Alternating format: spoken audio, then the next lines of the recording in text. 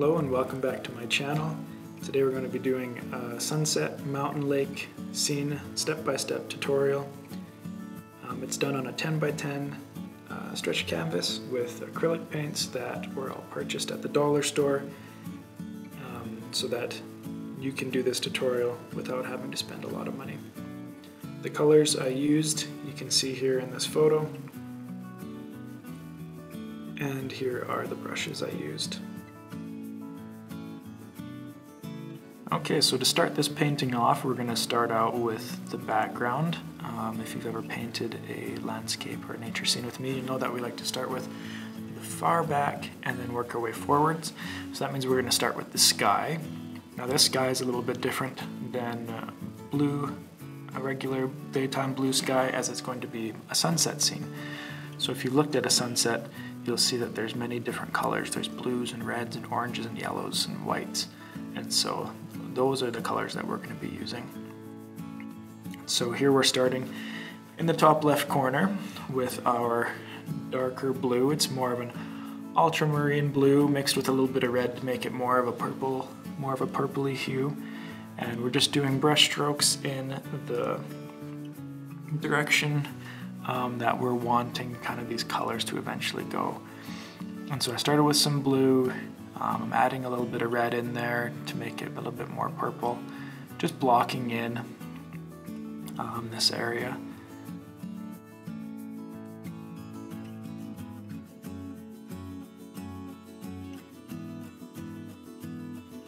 From there we're going to move into more of the red. And so as you can see here I'm adding some red onto the canvas, spreading it out and working my way back up into that blue so it creates a nice blending effect, like a nice, a nice smooth sky, as you would see um, the colors naturally changing in the sunset sky.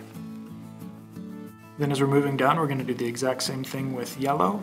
Uh, we're using more of a medium yellow, and we'll add in a little bit of brighter yellow um, in there, and we're just working our way back up into that red, just like we did with the red to the blue, to create that natural blending effect, uh, natural transition of color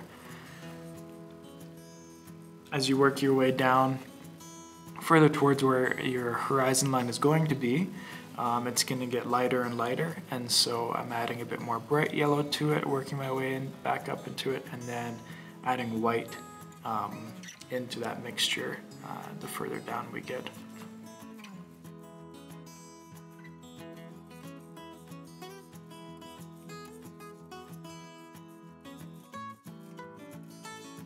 From there, since these are dollar store paints, you might need to do a second coat. Um, so that's what I'm doing here. I'm just adding, almost doing that exact same process that I just went through, but just with a second coat, just to give it more of that clean um, look with the canvas not showing through as much. And now the next step will be starting into our mountains. And so if you've ever looked at mountains, especially in um, in a sunset light or sunrise light, the, the deep colors of the mountains are usually more of a purple color. And so what we're going to start with is we're going to start with a deep, deep purple. So I just used some of the purple that I had made from the red and the blue and then added some black to it to make it a darker color. And so once you have that mixed, then make sure you have a square brush. And when I say square, it's one that is flat on the top and on the sides and get some paint on your brush from there and you're going to use that not only to block in your mountains but to be able to create the peaks of your mountain. And so this mountain will have a peak mm, generally in the middle. And so I'm just starting with that peak and working my way down. To the left of it you can see I'm making another peak.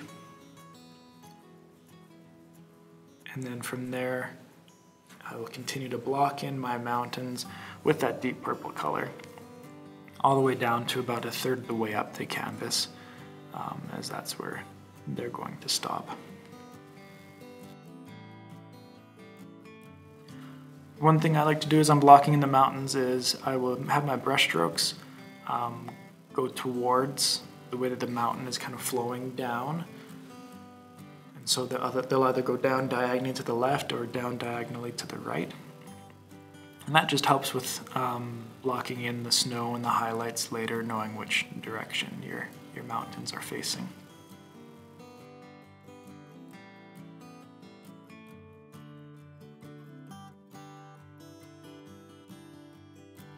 Once your mountains are all blocked in, then we're gonna start adding in some highlights. So this is where you need to know which direction your sun or the light source is coming from. And so in this case, in our painting, it is coming from the right side of the canvas. And so that means the mountain faces that are towards the sun are going to have lighter highlights and the ones that are in the shade are going to have darker highlights.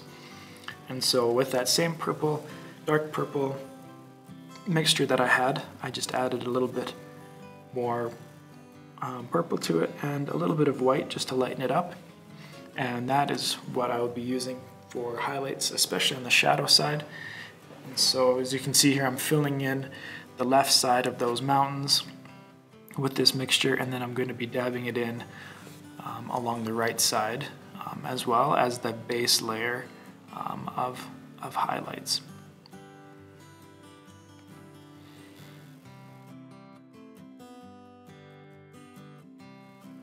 So I switch brushes here to a smaller brush um, just so I can be a little bit more precise with these highlights that I'm adding in now. And so this again is just a lighter step of a lighter highlight of what we just did. And these are going to be dabbed in a little bit sparser.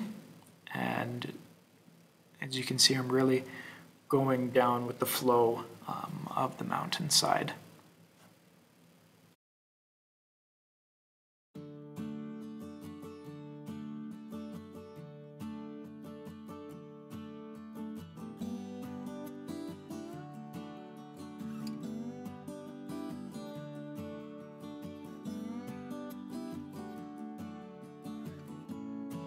Now I'm using a little bit of a lighter highlight on the shaded side um, just to give it a little bit more of a more of a texture, make it a little bit more visible.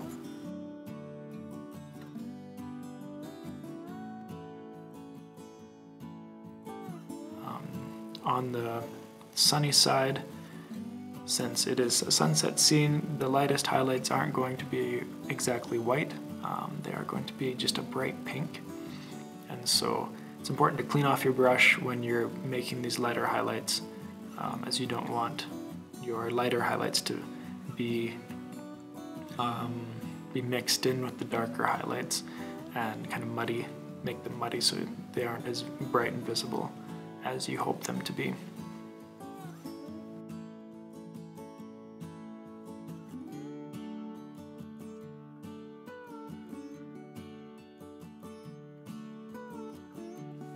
Once I got my light highlights in there on the sunny side, um, I realized that I needed to make the shady side just a little bit lighter as there was too much of a contrast between the two. And so I'm just taking some of that lighter mixture, adding in a little bit of the dark purple to it, and then dabbing that in on the shady side um, to give it more of that proper contrast between the two sides.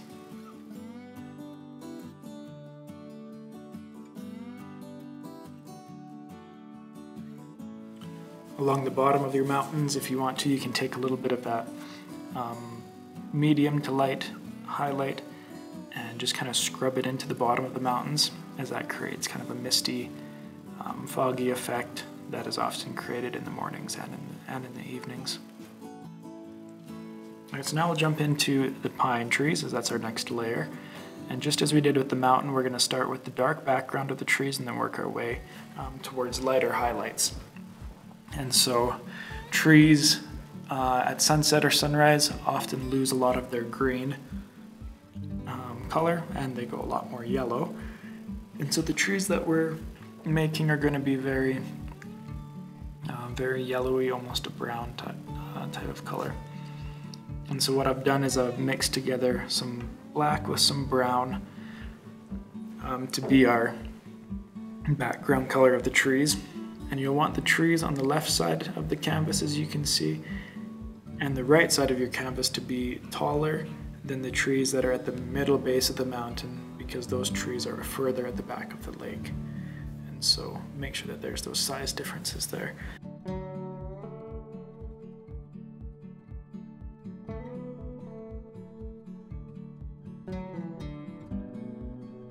I'm using a fan brush because the fan brush makes it easy to make thin lines.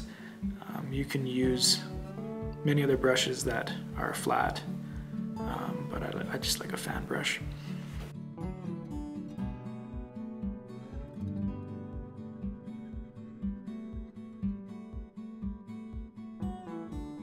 And I'm blocking in a little bit of the shoreline um, just with this dark, dark color um, as I want the base of the trees to, to be thick and so you can't see through to the mountain or the white of the canvas. And again, just as we did with the mountains, then we're going to take a little bit of a lighter highlight. So I've added some yellow um, and actually some pine green um, to that dark mixture. And then I'm going over with the fan brush, just dabbing through, adding in some of these lighter highlights to the trees.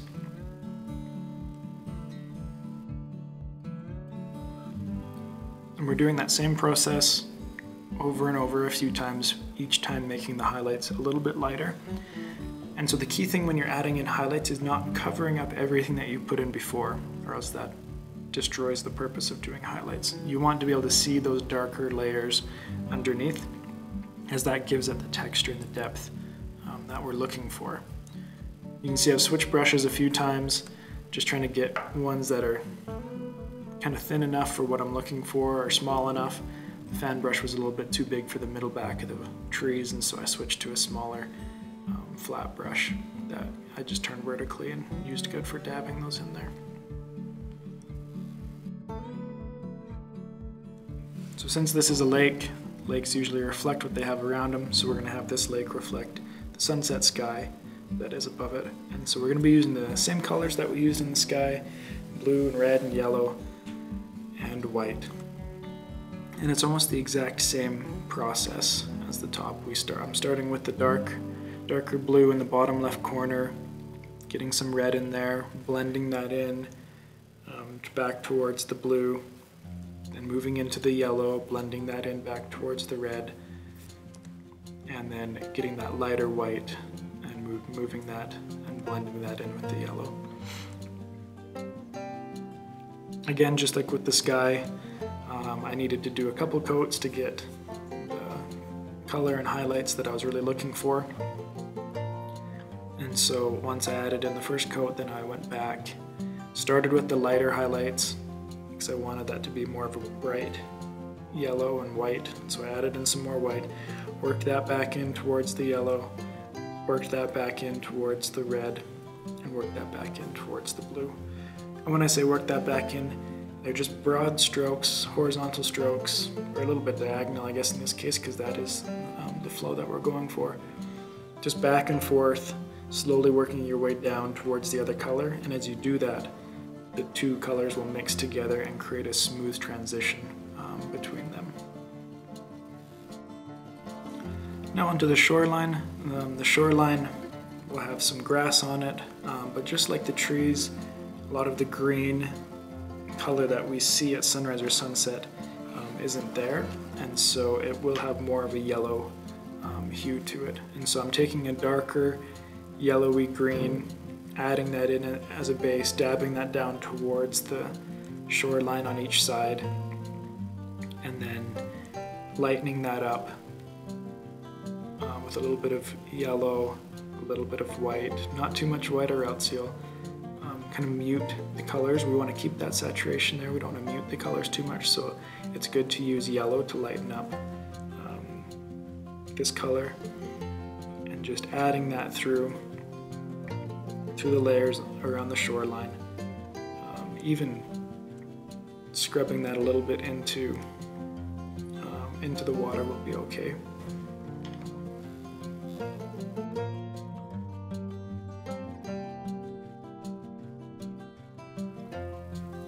You can see here, I'm going back and I'm touching up the highlights of the trees after adding in the highlights of um, the grass. I felt like the trees needed to be a little bit lighter and so I went back and did that. That's the nice thing about painting and acrylic paintings. You can go back, you can retouch things up right after if you want to.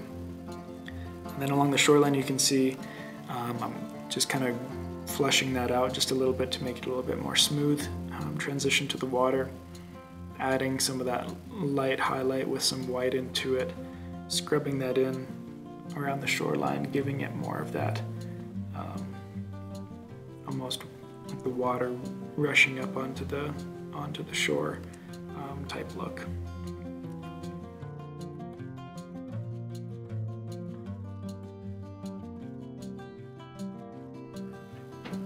And the last step, if you want, is going back and touching up any highlights that you feel need to be touched up.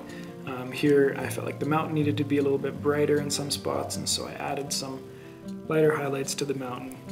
If you want to touch up any other highlights on the shadow side of the mountain or in the trees or on the grass, now is the time to do it.